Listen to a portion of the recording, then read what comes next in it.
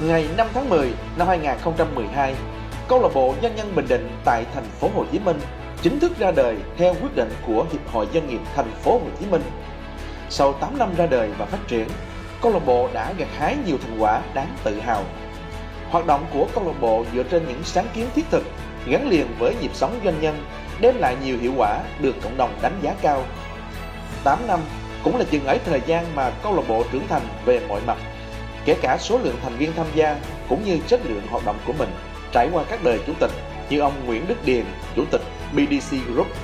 ông Nguyễn Đình Trung, chủ tịch tập đoàn Hưng Thịnh, ông Đỗ Thanh Hùng, chủ tịch công ty bao bì giấy Việt Trung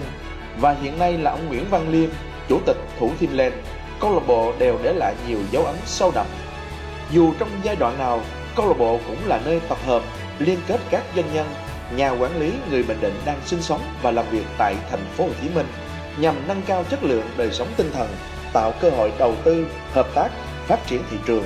thúc đẩy sự lớn mạnh của các hội viên, góp phần vào sự phát triển kinh tế, xã hội không chỉ tại thành phố Hồ Chí Minh cho quê hương Bình Định mà còn trên khắp mọi miền Tổ quốc.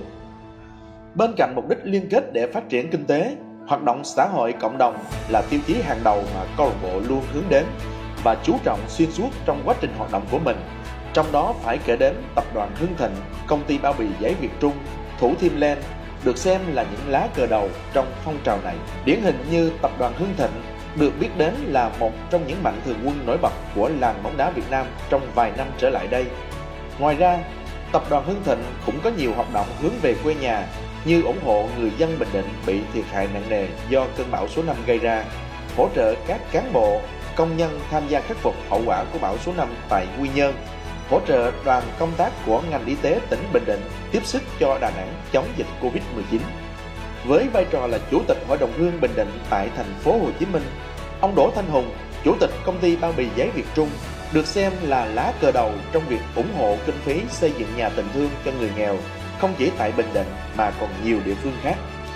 Việt Trung còn là đơn vị tích cực trong các phong trào thiện nguyện tại quê nhà như trao quà Tết cho người nghèo, hỗ trợ bệnh nhân có hoàn cảnh khó khăn, ủng hộ đồng bào bị thiệt hại do bão lụt, ủng hộ bếp ăn tình thương, vân vân nhằm chia sẻ, động viên, đem thêm niềm vui đến với nhiều đồng bào. Là người luôn chú trọng các hoạt động từ thiện và quan tâm đến vấn đề an sinh, xã hội. Hàng năm, tập đoàn Thủ Thiêm của doanh nhân Nguyễn Văn Liêm, chủ tịch câu lạc bộ doanh nhân Bình Định tại thành phố Hồ Chí Minh đều hỗ trợ cho các chương trình từ thiện với mức tài trợ không hề nhỏ như ủng hộ bệnh nhân nghèo tỉnh Bình Định, liên kết với đối tác ủng hộ chương trình mổ mắt nhân đạo cho bệnh nhân nghèo huyện Phù Mỹ, ủng hộ quỹ khuyến học tỉnh Bình Định, ủng hộ quỹ học bổng Quang Trung, vân vân. Còn rất nhiều gương doanh nhân tiêu biểu của câu lạc bộ doanh nhân Bình Định có nhiều đóng góp trong các hoạt động thiện nguyện hướng về cộng đồng mà trong khuôn khổ phóng sự này chúng tôi không thể kể hết. Điều đó thể hiện trách nhiệm với xã hội của những doanh nhân đắc võ thành đạt nhưng cũng đầy nhiệt huyết và giàu lòng nhân ái. Bên cạnh hoạt động xã hội, câu lạc bộ doanh nhân Bình Định tại thành phố Hồ Chí Minh cũng thường xuyên tổ chức các chương trình giao lưu, gặp gỡ, chia sẻ kinh nghiệm, tọa đàm để kết nối các thành viên lại với nhau. Tổ chức giải bóng đá người Bình Định, tổ chức hội thao người Bình Định tại thành phố Hồ Chí Minh tạo nên môi trường đoàn kết, gắn chặt tình đồng hương. Các doanh nhân trong câu lạc bộ cũng rất quan tâm hỗ trợ các bạn sinh viên Bình Định tại thành phố Hồ Chí Minh tổ chức nhiều hoạt động ý nghĩa để gắn kết sinh viên Bình Định đang theo học tại các trường đại học, cao đẳng, học viện tại thành phố Hồ Chí Minh như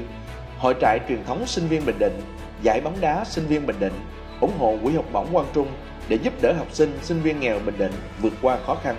Nhìn lại một năm đầy biến động và khó khăn khi doanh nghiệp phải vật lộn để tồn tại trong đại dịch Covid-19 vừa qua, mặc dầu gặp không ít biến cố khiến nhiều doanh nghiệp điêu đứng, thậm chí đứng bên bờ vực phá sản, nhưng với bản lĩnh và ý chí kiên cường,